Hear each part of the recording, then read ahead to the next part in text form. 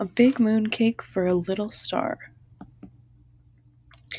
Little Star remembered she brushed her teeth, washed her face, and snuggled into bed and fell asleep.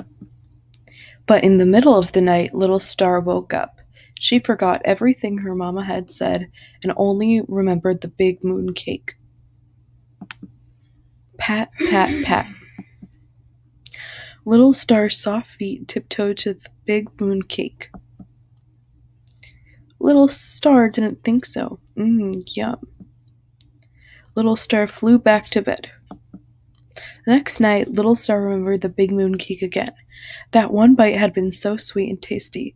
Was the cake still there? Yes, it was. There was that big moon cake, an almost perfect circle, all lone and delicious in the sky.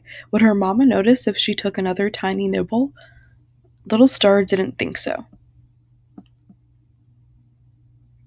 Yum. Little Star flew back to bed. And the next night, what do you think Little Star remembered? The big moon cake, of course. Would Mama notice if she took another nibble? Little Star didn't think so. Yum! Nibble, nibble, yum. And the night after that, what did Little Star do? She took tiny nibble after tiny nibble of the big moon cake.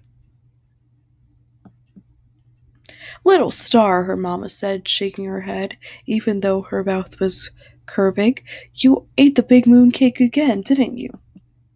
Until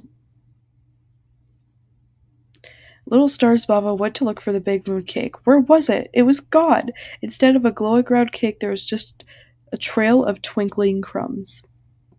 Little Star, her Baba said, shaking her head, even though her mouth was curving. You ate the big moon cake, didn't you?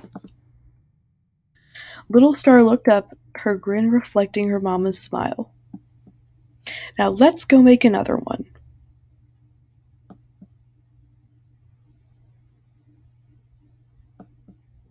The end.